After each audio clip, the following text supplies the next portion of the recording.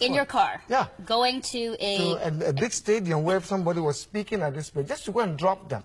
So I got to this stadium, and uh, I parked at the back of the stadium, but meanwhile, in the back of the stadium, there's a speaker facing me. And this guy and the speaker was saying, Jesus, Jesus. I didn't know, I didn't know what was all about. I knew that I was going to speak about Christians, and they were, they were, they were speaking about Christian meeting. But as I parked at the back of the stadium, something did happen. The girl wanted to come out of the, uh, out of the car. Now, you was, were stuck there. You Yeah, wanted to stuck. just leave. That's right. But you were surrounded by cars. so Yeah, because I parked the car and I wanted to find somebody who could give me the direction. But people thought I parked the car, so people park around me and they blocked me in the back of the stadium. Yeah. So you Now, can't now I can't go anywhere. I'm just You're sitting there. trapped. And, and moreover, since- That's the key of what to do. Pack everybody in, lock them in, and trap them in. I think the problem was because I'm the imam in that neighborhood, everybody knew me. So I'm nervous now. I don't want them to know that I'm in this Christian oh. meeting. So I've been trying to hide my face. But the problem is, this girl, was, it was so hot, but this girl wanted to walk on the stage, walk, uh, walk to this bench. So I was taking her to this bench. As I was taking her to this bench, and So you carried her because yeah, she was carried her in paralyzed from the waist down. Yeah, I carried her. I carried her in my arms. But Yeah. as I was walking to the stadium, something happened. And- and This guy started speaking, uh, speaking on this speaker, and this, and he started saying, "Jesus, Jesus, Jesus."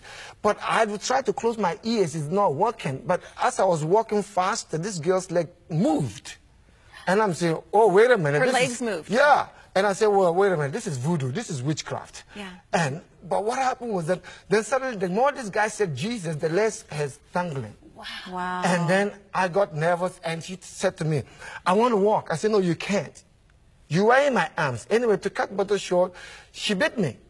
Because She she, bit wanted to get down. literally You were bit not me, putting her down. I Did have, you? I have the scar here. she bit me and I slammed her to the floor. But right in my the naked of my eyes, I saw this girl walking. Ah. And I'm was, she, was she paralyzed from birth? Yes.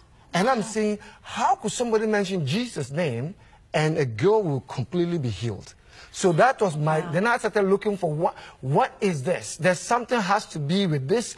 Somebody mentioned Jesus' name, name alone. So anyway, I went home on that day, met her parents, and went to the mosque on that day. As I was at the mosque, I was at the mosque. Somehow, I'm not sure what happened. I was leading my Maghrib, I was leading the prayer, and then suddenly, my um, uh, I, these words came out of my mouth. I don't know where it came from.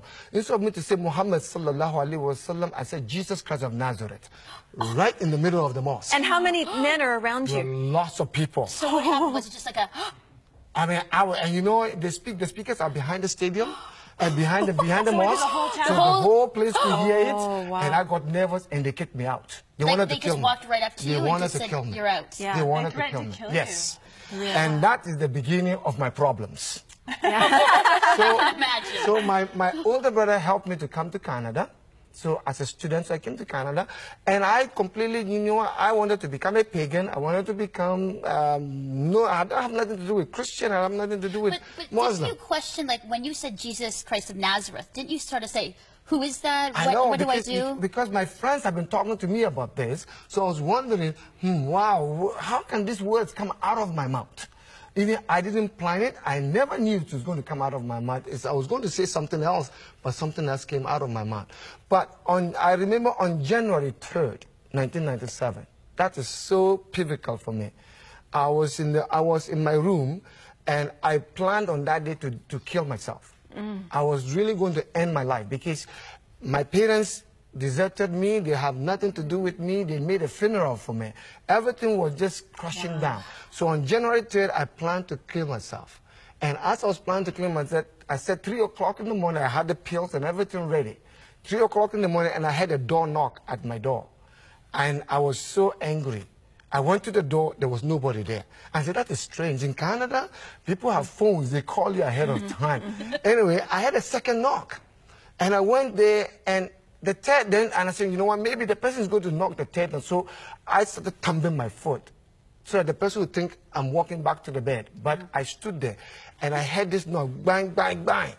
And I opened the door, and I heard this voice that I've never heard in my life. It says, Your mother and father forsake you, I'll be there for you. Mm-hmm. and I look around and I said, Oh, now I'm hearing voices.